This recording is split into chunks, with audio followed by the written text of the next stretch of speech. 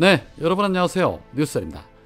윤석열 정권의 비뚤어진 역사 인식으로 나라의 근간이 심각하게 흔들리고 있는 모습을 곳곳에서 확인할 수 있습니다.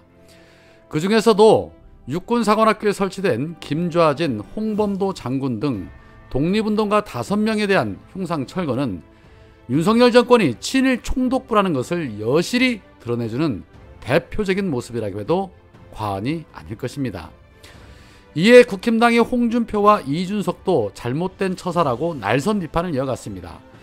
홍준표는 자신의 페이스북을 통해 굴곡진 역사의 희생양이셨던 독립투사분이었고 박정희 대통령 이래 김영삼 대통령까지 보수정권 내내 훈장도 추서하고 수십 년간 노력으로 유해 봉안하여 대전 현충원의 안장까지 한 봉오동 전투의 영웅을 당시로서는 불가피했던 소련 공산당 경력을 구질 삼아 그분의 흉상을 육사에서 철거한다고 연일 시끄럽다.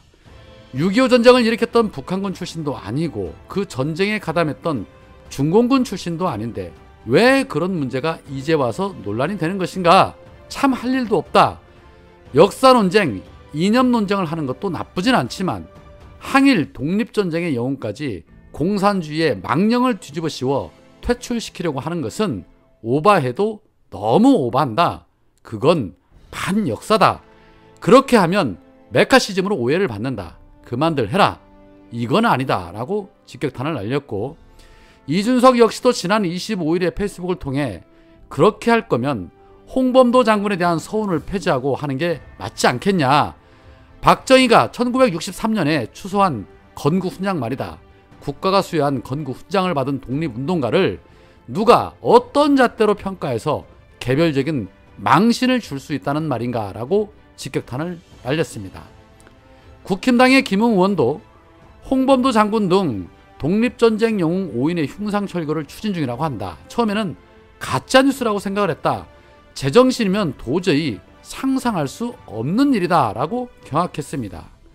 앞서 이종섭 국방부 장관이 지난 국회 국방회에서 공산주의 경력이 있는 사람이 육사에 있어야 하느냐라며 흉상 철거에 대한 의지를 드러낸 바 있는데 이를 두고 김웅은 공산당 전력 때문에 홍범도 흉상 이전 박정희 때 훈장 수여 참을 수 없는 분노를 누르고 두 가지만 묻겠다. 첫째, 독립운동의 좌우가 따로 있냐? 둘째, 좌익에 가담했던 박정희 전 대통령의 업적도 지워야 하냐라고 반박하기도 했습니다.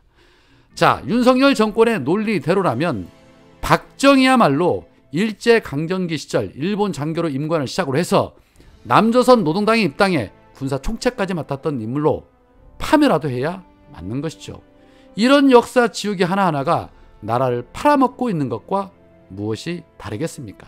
오죽하면 국힘당 인사들조차도 이렇게 비판의 목소리를 내겠습니까? 흉상철거 못하게 막아야 합니다. 윤석열 정권의 이런 모습들을 보면서 드는 생각이 일제강점기 때 일본이 우리의 정기를 말살하고자 전국의 산맥에 쇠말뚝을 박았던 모습이 연상이 됩니다. 정말 큰일입니다. 자, 한편 일본의 핵 오염수 방류에 대한 중국의 강경 조치가 우리 국민들로부터 응원을 받고 있는 가운데 중국의 일본 반격이 생각보다 더 강해지고 있습니다.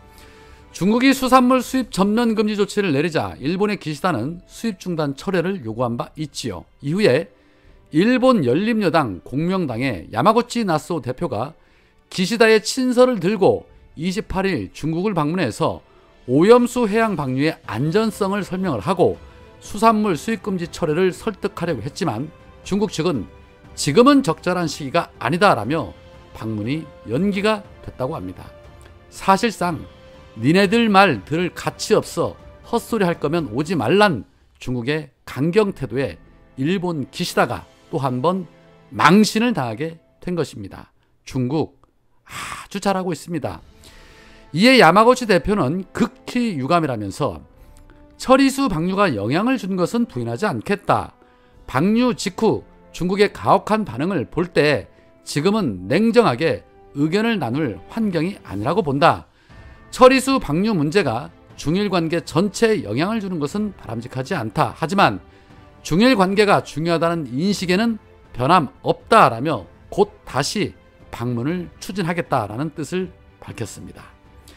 현재 중국에서는 반일 감정이 고조가 되면서 일본 대사관 측은 자국민들에게 외출할 때는 가급적 언행을 신중히 하고 불필요하게 일본어로 크게 말하지 마라. 일본 대사관을 방문할 때는 주의 깊게 주변을 살펴야 한다라는 등의 공지를 올리기도 했습니다. 정말 웃음이 절로 나옵니다. 쩔쩔매는 일본의 모습을 보며 우리 국민들의 분노를 대신해주는 중국에게 응원하는 마음이 더 생깁니다. 이왕이면 한 발 더 나아가서 일본과 무역까지 중단하겠다는 선언을 해주면 참 좋겠다라는 생각도 듭니다. 자, 그런가 하면 일본 내에서는 수산업자들의 피해가 이루 말할 수 없는 지경에 이르자 하시모토 도루 전 오사카 지사라는 자가 SNS를 통해 이번 피해를 대응하는 롤 모델로 윤석열을 거론하면서 윤석열이 지난 27일 자갈치 시장을 방문해서 우리 국민은 괴담에 동의하지 않는다라는 그 기사를 언급하며 윤석열 못지않게 일본의 국회의원 전원이 행동하고 발신할 때다라고 강조를 했다고 합니다. 기시다와 일본 정치권이 윤석열처럼 먹방쇼를 해야 한다는 그런 주장인 것입니다. 윤석열에게 본받아라 라고 말한 것입니다. 전 세계인들의 롤 모델도 아니고 일본 극우 정치인들에게나 롤 모델이 되는 윤석열 이런 자가 대한민국 대통령이라는 게 정말 부끄럽습니다. 과연 기시다와 자민당 정치인들이 먹방쇼에 나설지는 지켜봐야겠지만 문제의식을 전혀 못 느끼고 헛짓거리에만 열심인 일본 정치인이나 대한민국 일부 정치인이나 참 답 안 나오는 집단들 잡습니다. 아니나 다를까 국힘당의 하태경이 자신의 페이스북을 통해 우리 수산물 불안하다고 선동한 이재명 대표는 횟집 장사 망친 책임을 져야 한다라는 황당한 주장을 했습니다. 이재명 대표가 지난 6월 3일 부산에 방문을 했을 때 오염된 바다를 누가 찾겠나 해운대 이 아름다운 바다에 수백만 명의 사람이 찾아와 즐기지만 이곳에 세슈민이 무슨 뉴민이 희한한 이름도 기억하기 어려운 핵 방사능 물질이 바다에 섞여 있다고 한다면 대체 누가 바다를 찾겠냐? 이 향기 좋은 멍게를 대체 누가 찾을 것이냐? 김이 오염되면 김밥은 대체 무엇으로 만들 것이냐? 라고 국민의 불안감을 부추겼다. 실제로 이재명 대표의 이날 발언 이후에 우리 수산물에 대한 불안감이 높아졌고 이는 급격한 소비 위축으로 이어졌다. 그 책임은 국민이 반드시 이재명 대표에게 물을 것이다 라고 입을 털었습니다. 뭐 공천 시즌은 다가오고 윤석열 눈에는 들어야겠고 검사 출신들이 대거 공천된다는 말은 나돌고 아마 똥줄 타나 봅니다. 우리 국민들이 이재명 대표 말 한마디에 먹을 거 안 먹습니까?